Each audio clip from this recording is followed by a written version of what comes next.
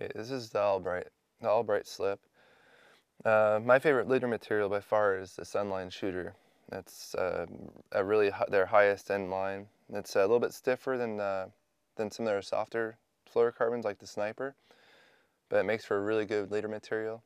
Now, a lot of times when you're using this uh, this slip, you want to it's to keep the bait from maybe tangling the braid, like a top water, uh, a jerk bait from wrapping itself and catching a braid. We all know if you throw a straight braid to one of those baits, they can tangle up really easy. So I like the stiffer fluorocarbons for that. Again, it's shooter. This is white braid here.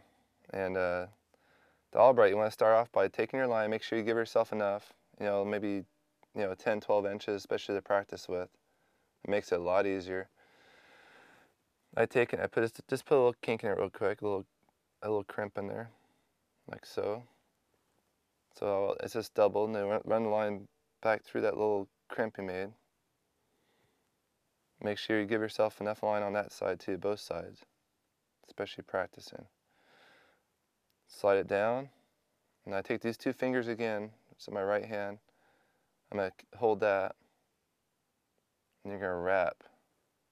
And I take my fingers and kind of like I do it this way. There's you can do it like this kind of like a traditional, but I think it's faster. When you get good at it, you can kind of do it real fast. But the trick in this one is to do a lot of wraps. That's where a lot of people might, like any slip, like any knot that they're tying the fluorocarbon, the amount of wraps is the most important thing. Uh, this one, when I do it single, you can do this one double too. When I single this one, I do like 20 to 24 wraps. So it's a lot of wraps. And it goes by pretty quick if you're doing it how I showed you.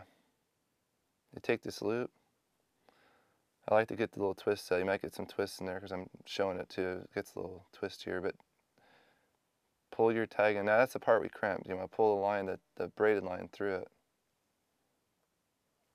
Now On this one, once you get to that point, you might want to just wet it a little bit so it slides easier, but you want to make sure cinching it down is by far the most critical point. So you want to kind of, because if you pull it down real fast, this is going to bunch up and it's going to be an ugly knot. This, this knot's actually really a a good looking knot. It's nice and tight. So you kind of want to just kind of make sure it pulls down nice and neat.